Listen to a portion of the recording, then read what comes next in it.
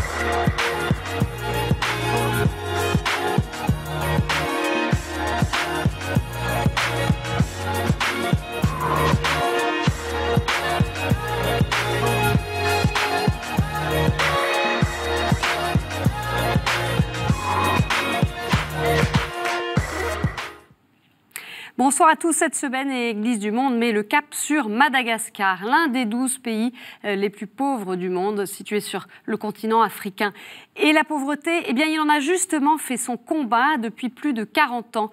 À l'occasion de son passage en France, le Père Pedro nous fait la joie euh, de nous rejoindre sur ce plateau. On l'entendra, vous verrez, dans quelques instants. Et puis ailleurs dans le monde, eh bien, on ira en Asie du Sud, en Inde, touché mi-novembre par un cyclone dans le sud-est du pays. L'Église aide les victimes. On entendra Monseigneur Ambrose, qui est l'évêque de Tanjavour. Euh, mais tout de suite, ce qu'il faut savoir sur Madagascar.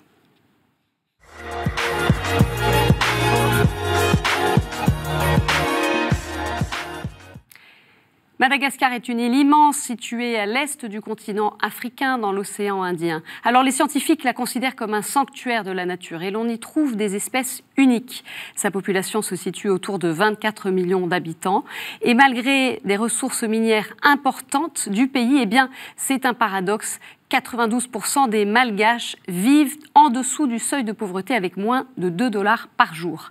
Côté religion, eh bien, il n'existe pas de chiffres officiels, mais euh, la religion traditionnelle axée sur le respect des ancêtres représente environ 50% de la population, le christianisme 45%, dont 25% de catholiques et 20% de protestants, et l'islam 5%. Alors dans ce pays qui figure parmi les, les, plus pauvres au monde, je le disais, eh bien, euh, l'Église, elle est au service des plus fragiles. Et c'est notamment le cas du Père Pedro.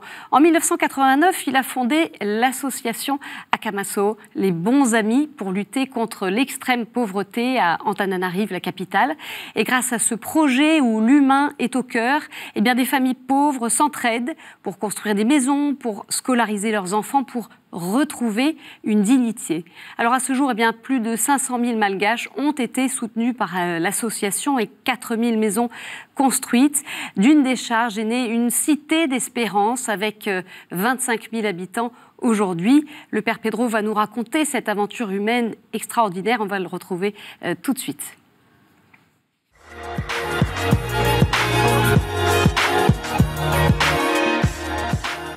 Père Pedro, un grand merci de nous rejoindre sur ce plateau. Vous êtes déjà venu sur KTO, hein oui. Euh, mais vous êtes là à l'occasion cette fois-ci de la sortie d'un dernier livre qui a pour titre La Cité d'Espérance du Père Pedro, qui est paru il y a quelques semaines aux éditions du Rocher. Donc vous êtes en France quelques jours.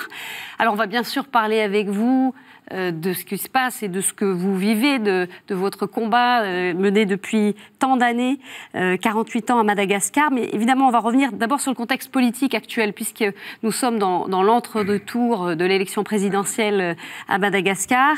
J'ai envie de vous demander, ce pays, on, le sait, il a une nature incroyable, une biodiversité, et on voit ces chiffres-là qui sont absolument complètement incompréhensibles. 92% de la population qui vit avec moins de 2 dollars par jour. C'est voilà, quoi cette situation dans ce pays euh, qui n'a pas connu de guerre?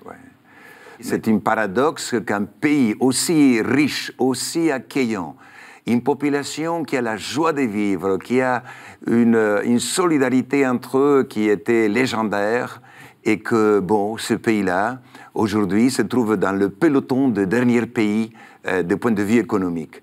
Alors voilà, nous démontrons par, par, euh, par les, la population la plus pauvre que nous avons pris en charge depuis 29 ans que euh, aucune, aucune pauvreté n'est pas tombée du ciel mm. et que n'est pas une fatalité, qu'on peut, que ces personnes-là qui étaient hors de la société, aujourd'hui sont devenues des citoyens à part entière et des citoyens pleins de joie et que les gens qui viennent dans nos, villages, quand ils voient nos enfants, les jeunes, les parents, mais ils disent, mais ici on respire la paix, ici, ici les gens dégagent la joie de vivre, et en plus c'est propre chez vous.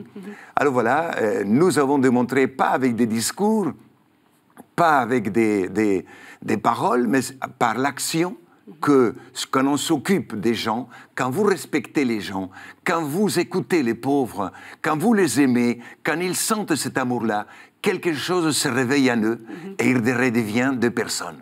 Ils redeviennent euh, des personnes normales qui, qui, qui, sont ont, capables d'agir aussi. Qui, qui, ont un talent, qui ont des richesses, qui ont de, des charismes et qui les expriment. Alors, on en revient juste à ces élections. Euh, on a parlé de pas mal euh, d'anomalies lors du premier tour. Les évêques aussi malgaches se sont exprimés, alertant hein, sur, sur la situation, appelant à respecter le choix des électeurs. Dites-nous, on a le sentiment, alors c'est deux, deux candidats qui sont deux anciens présidents, qu'on est quand même toujours dans ce contexte un peu qui ne change pas cette corruption politique. Euh, voilà. Est-ce que, est-ce que vous dites que c'est pas une fatalité la situation du pays, mais écoutez, quand il s'agit de quand un pays, quand toute une nation s'exprime à travers euh, les, le vote. Euh, avec une élection, surtout quand c'est présidentiel, il faut respecter. Mhm. Personne a le droit de critiquer un tel choix, tel choix. La démocratie, c'est celui qui a le plus de, votes, celui qui a le plus convaincu euh, le pays, une grande partie de, sa population de les choisir. Il faut respecter. Il faut respecter ce, choix du peuple. Le seul souverain, c'est le peuple malagasy. Je n'ai pas à donner mes opinions personnelles parce que je respecte le choix qui, a fait le peuple malagasy.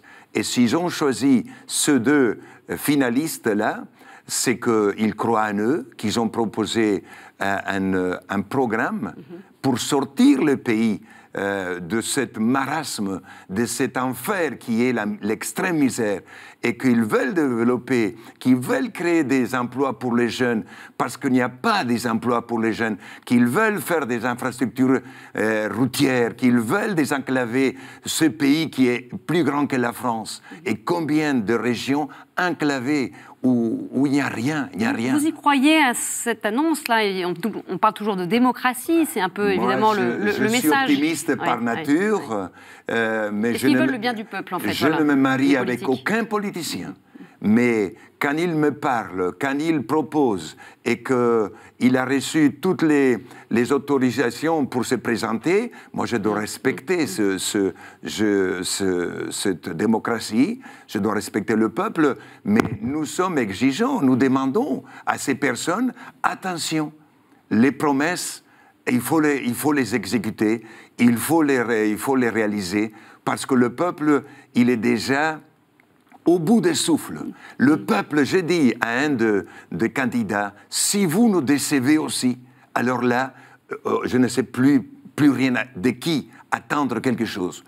Et il m'a dit, nous sommes la dernière chance. Je pense que si c'est lui qui sera élu président le 19 décembre prochain ne fait rien pour son peuple, pour, ses, pour sa jeunesse, pour ses enfants, eh bien, l'histoire, l'histoire va le juger. Mhm. Alors, on va revenir maintenant sur, cette, euh, cette, action, ce combat que vous avez engagé euh, avec Akamasoa, donc en 1989. Euh, et on va, peut-être écouter un témoignage dans un, premier temps, justement, pour nous mettre un peu dans, cette, cette dimension-là. On va revenir à votre mission qui a démarré donc il y a près de 30 ans. On va écouter Janine, dont les parents furent parmi les, les premiers bâtisseurs d'Akamasoa. On l'écoute. On n'était pas du tout comme les autres enfants. Mes parents habitaient dans la rue avec mon frère aîné. Et leur vie là-bas dans la rue, c'était de ramasser les ordures. Ils faisaient la manche. Ils mendiaient. Dans notre vie, on n'était pas du tout dans la joie. C'était la misère tous les jours. Et le père Pedro est venu. Et il a été parmi les premiers qui ont transformé la vie de mes parents. Il a tout de suite su comment accueillir les gens. Certains en avaient peur et d'autres osaient tout de suite venir vers lui. Or, comme il a su parler en douceur avec les gens en difficulté, y compris mes parents, nous avons appris aussi à l'accueillir. C'est ainsi que s'est noué un lien d'amitié entre nous. Mes parents ont été parmi ceux qui ont construit avec lui les premières maisons et toutes les choses à réaliser pour bâtir Akamasu. Alors Père, voilà, on entend cette jeune fille, ce témoignage touchant qui dit... Qui, est devenue aujourd'hui, elle est, elle est institutrice, son mari instituteur, euh, professeur de collège, et ils ont deux enfants. Mhm. une nouvelle vie, une nouvelle vie. Ils vivent à Kamasoa toujours. Ils vivent à Kamasoa toujours. Alors voilà, euh, quand je vois les enfants qui sont nés dans une décharge, qu'aujourd'hui ils sont des médecins, des sages-femmes, des professeurs, des institutrices, des assistantes sociales, ben, je dis merci mon Dieu, merci, parce que quelle jeunesse On ne peut pas, on est sur terre pour aider les autres. On est sur terre pour faire un bien.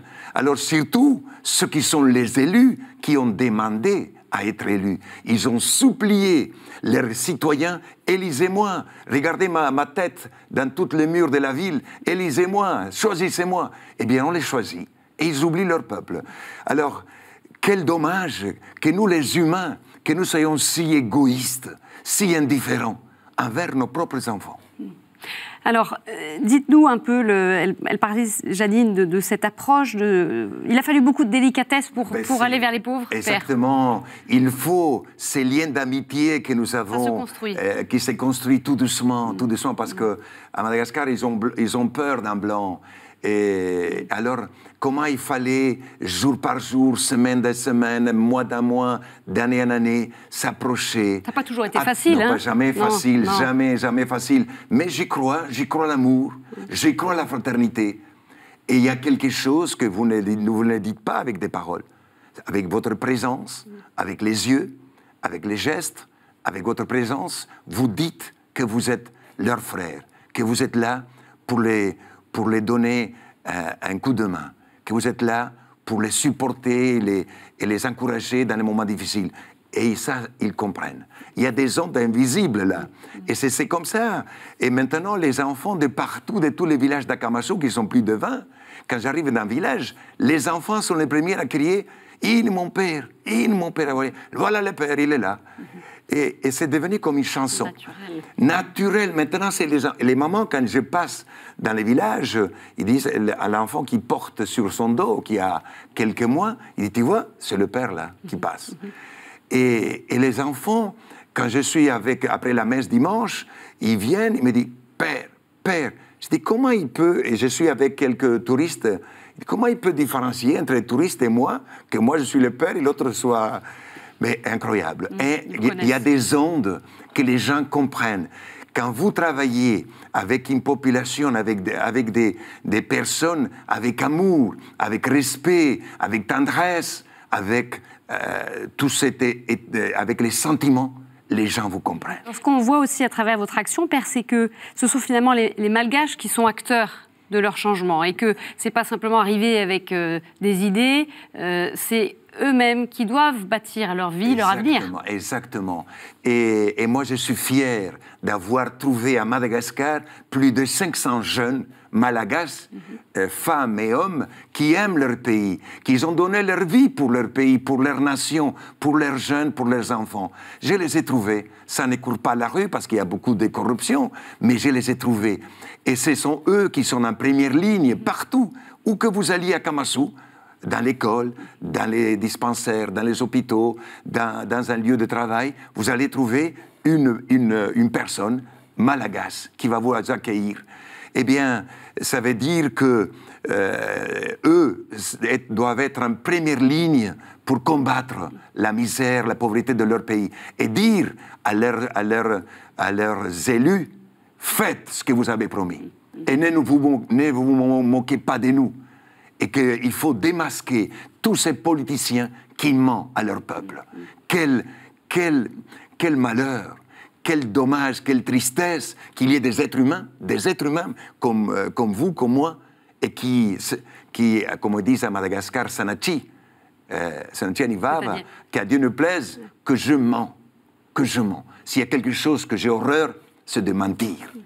Eh bien, pourquoi euh, nous ment Pourquoi ment ces, politiciens qui ont passé depuis l'indépendance et qui ont laissé tomber ces grands pays, ces grands peuples malagasy, l'ont laissé tomber dans, cette extrême misère, avec un pays avec tant de richesses. Et la jeunesse malgache, quelle intelligence Ils aiment les mathématiques, ils aiment la physique, la chimie, ils aiment les langues.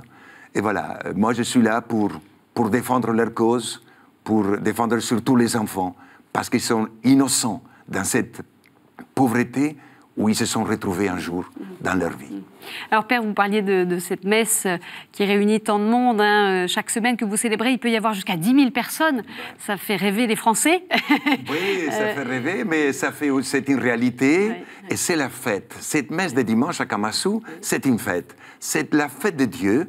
On célèbre la, la résurrection d'un peuple. Un peuple qui était, qui était dans la rue, qui était dans un enfer, où, où c'était lieu-là, autrefois, c'était, il y avait beaucoup de violence, il y avait la jalousie, il y avait la, il y avait la, les, les bagarres quotidiens, il y avait de tout.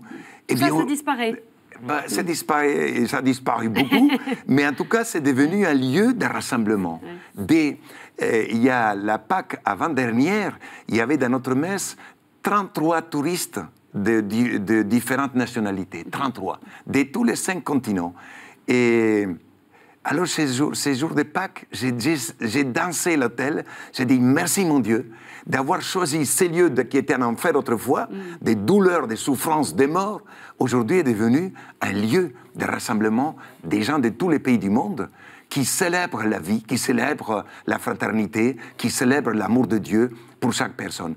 Et, et les 60 15% de nos fidèles, ce sont des enfants et des jeunes. Alors ça veut dire que l'espérance est là. 75% des enfants et des jeunes. Alors, Il y a une euh, foi qui anime ces familles, ces jeunes. C'est bon, mais c'est aussi l'évangile que nous voulons qu'il soit attirant. L'évangile, c'est joyeux. L'évangile n'est pas, pas triste.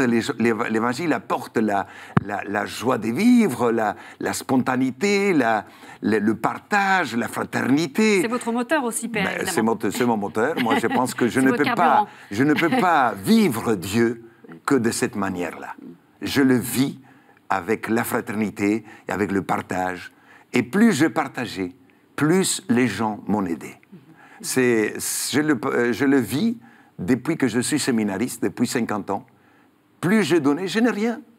Mais nous avons créé une ville, une ville avec tous les, les services nécessaires que les gens euh, ne peuvent pas imaginer. Non, on ne peut pas imaginer, en fait, c'est difficile, on l'a fait, On l'a fait, elle, elle, est là, la ville. La ville des pauvres, créée par les pauvres eux-mêmes, est fière de l'avoir fait. Mhm. Quelle fierté qu'ils ont C'est pour cela qu'ils nettoient leur ville et que nos villages sont propres et, que les gens sont fiers de, de montrer à, nos frères touristes, voilà, c'est notre ville, voilà, c'est ma maison, c'est mon école, c'est notre hôpital, c'est notre stade, parce que nous avons aussi des infrastructures sportives, nous avons 14 000 enfants.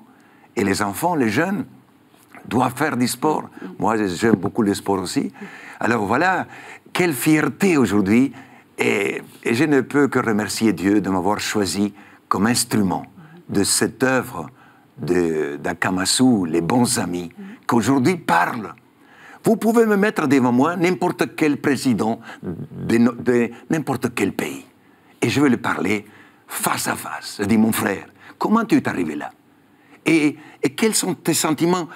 Avec quelle vérité tu es arrivé là? Si tu es arrivé euh, avec une vérité, avec un amour à ton pays, tu ne peux pas rater ton mandat.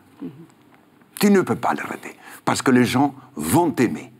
Et si tu es président de ton pays, occupe-toi des 20% les plus pauvres de ta population, pas des, 20% les plus, les plus riches. Si, parce qu'un président, il est président de tous les citoyens. Alors voilà, ce que nous, nous vivons, euh, c'est faisable. Et Père, vous voyez ce chemin parcouru, alors il y a beaucoup de choses et on sent voilà, que c'est porteur et c'est vraiment, euh, vous avancez. Il y a encore beaucoup de choses à accomplir. Beaucoup de choses à accomplir, mais, mais avec la, conviction de que nous avons, euh, nous avons vaincu beaucoup de difficultés, nous avons passé euh, des, étapes très importantes et à chaque étape, nous prenons plus de force, plus d'assurance, on peut le faire. La pauvreté sur notre terre, on peut la diminuer, voire l'éradiquer, l'éradiquer, mais à condition que nous ayons la volonté à condition que nous voulions partager, que nous ne soyons pas égoïstes, que notre économie ne soit pas seulement les profits et accumuler des richesses dans un seul pays ou dans le Nord. Vous savez, le Nord, s'il accumule trop de richesses, vous pouvez basculer et vous allez devenir hémisphère sud et nous au sud, on va devenir hémisphère nord. Et les choses vont changer.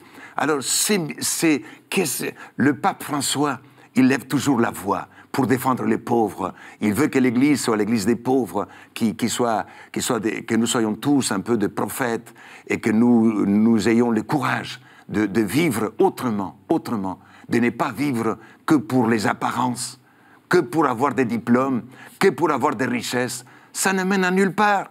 Aujourd'hui, le pape François nous dit, à Laudate aussi, que la terre est notre maison commune, que nous devons la garder, que nous devons la protéger, que nous devons la transmettre à nos futures générations.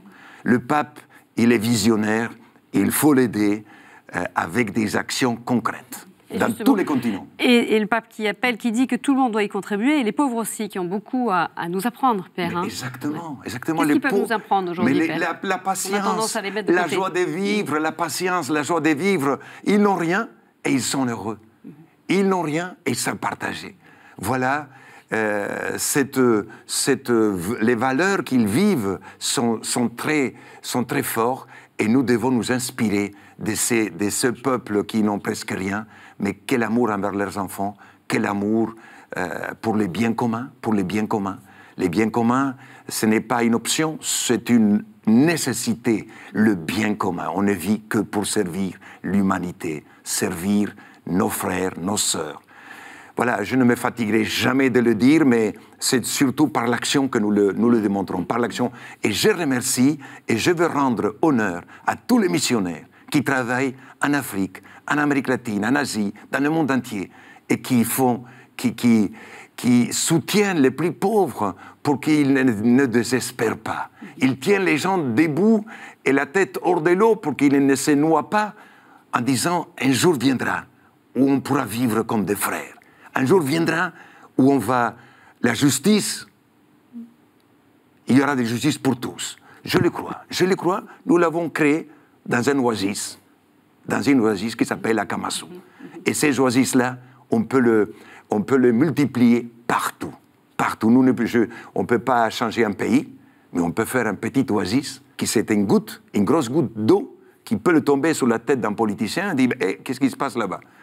Mais voilà. Et, quand les gens voient, les gens voient, ils croient. Une dernière question, Père, c'est quoi votre prière et que vous pouvez nous partager aujourd'hui à nos prière, c'est croire en Jésus qui est le Fils de Dieu et qu'il est dans notre cœur, dans mon cœur, dans votre cœur et dans, tout, dans le cœur de tous ceux qui nous écoutent, de tous ceux qui nous, qui, qui nous regardent, qui est dans le cœur de chaque être humain, de chaque enfant, de chaque jeune, de chaque personne âgée, dans chaque pauvre qui mendie, même celui qui est dans la rue. Jésus, il est partout. La prière, c'est notre vie quotidienne. C'est être un, un mouvement, en respiration avec l'amour de Dieu, l'évangile de Jésus, et les vivre à tout instant. Merci beaucoup, Père. Merci. Et le plus simplement possible. Merci infiniment. Euh, et je dis à nos téléspectateurs qui souhaiteraient euh, soutenir votre action, on peut, euh, en adressant des dons à la mission Lazariste 95 rue de Sèvres 75 006 Paris.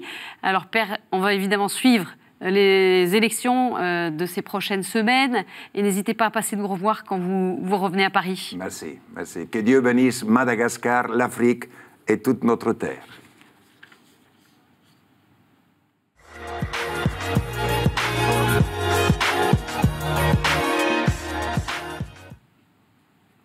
Et cette semaine, dans l'actu des églises, eh bien, on a choisi de revenir sur le cyclone Gaja qui a balayé le sud-est de l'Inde euh, le 16 novembre dernier, faisant une quarantaine de victimes et plus de 80 000 déplacés. À son passage, euh, le grand sanctuaire marial de Vailankani a lui aussi été endommagé. Alors, les personnes évacuées ont été accueillies dans 470 centres d'hébergement et l'église reste mobilisée pour les aider. Quels sont les besoins de la population. Anne-Laure Dartigue a posé la question à Monseigneur Ambrose, évêque de Tanjavour, diocèse situé dans l'état du Tamil Nadu, joint par téléphone. Food and water we are providing, uh, uh, and uh, also the electricity is not there. Therefore, they could not pump up the water. Therefore, they could not cook anything. Therefore, we are doing that one. Then further, they need also uh, what you call clothes because many things they have lost. Five crosses in different places fallen. There is a statue of uh, 20 feet that was also destroyed, which is outside. We kept it. That is also destroyed. We want that uh, they also uh, pray for us, especially to accept over the reality. That is the first thing. At the same time, we should not be discouraged. We must come out of it. Une nouvelle cathédrale pour le monde orthodoxe. Cet édifice néo-byzantin est sorti de terre en Roumanie, en plein cœur de la capitale, Bucarest. Le 25 novembre, 30 000 fidèles ont participé à la messe de consécration présidée par le patriarche de Constantinople, Bartholomé, en présence d'une centaine de prêtres, et du patriarche Daniel, primat de l'église orthodoxe roumaine, forte de ses 120 mètres de hauteur. Elle est l'édifice le plus élevé de Bucarest et pourra accueillir à terme 500, 5 000 fidèles. Alors le chantier a commencé en en 2011 sur une dizaine d'hectares offerts par le gouvernement, mais ce projet, ayant déjà coûté 100 millions d'euros et financé en grande partie par des fonds publics, ne fait pas l'unanimité chez les Roumains, euh, alors que l'argent manque pour les hôpitaux et les services publics. Voilà, c'est la fin de cette édition. Merci beaucoup de l'avoir suivi. Vous pouvez la retrouver euh, sur notre site internet, sur nos réseaux sociaux. Très belle semaine à tous. On se retrouve mercredi prochain. Au revoir.